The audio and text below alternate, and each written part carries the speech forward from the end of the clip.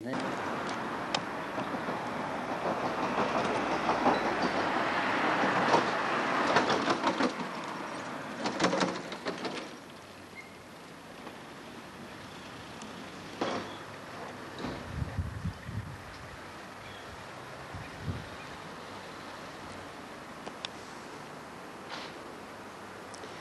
is a scene from outside uh, the old gallery here.